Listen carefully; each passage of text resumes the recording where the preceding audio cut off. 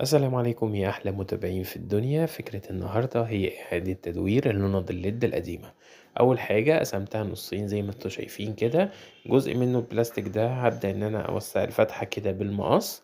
والجزء التاني اللي هو شلت منه المسمار جبت قطعة كده ليه خشب من اللي هي عصيان الشيش تاووك هخلي الجزء اللي فيه سن دوت هبدأ كده إن أنا أثبتها بنفس الطريقة. ولا محتاجين شمع فيها ونثبتها بيه ولا أي حاجة خالص. ونفس الكلام هعمله في الجزء اللي معايا من فوق. هبدأ كده أجيب السبراي الدهبي معايا وهبدأ إن أنا أرشها كلها معايا. بعد كده هجيب استراس عايز بقى الجزء اللي هو باين بتاع الخشبة دوت. برغم إن هو مرشوش بس أنا عايز أداريه بالاستراس علشان يكون الشكل العام بتاعها أحسن. ونفس الكلام الجزء اللي هو عامل فيه زجزاج دوت هبدأ كده ألف عليه قطعة من الاستراس أداري الشكل ومن فوق نفس الكلام.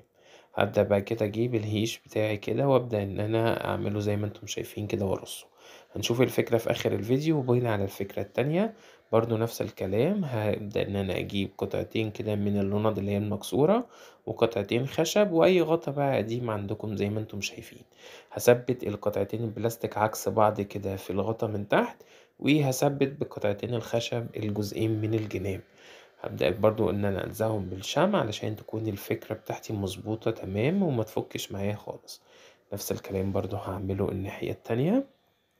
وبعد كده تبدأوا بقى إن أنتوا تجيبوا السبراي بتاع الرش وترشوه على حسب السبراي اللي متوفر عندكم.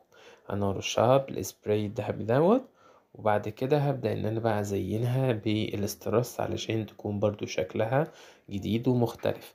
هبدأ كده إن أنا أعمل الجزء ده والجزئين اللي فوق هعملهم بيدوبك سطر واحد من الألماس.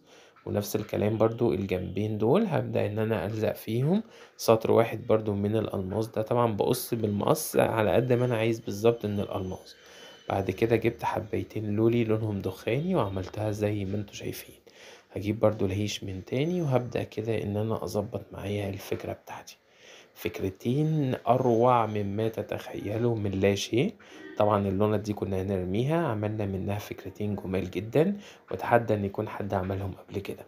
أتمنى إن الأفكار تكون عجبتكم. ما تبخلوش بقى عليا بال like وال share وال subscribe. ولو لسه أول مرة بتتابعني انزل فعل الاشتراك بسرعة عشان يوصلك إن شاء الله الجديد أول بأول. متشكر جدا ليكم للمتابعة للنهاية ومع السلامة.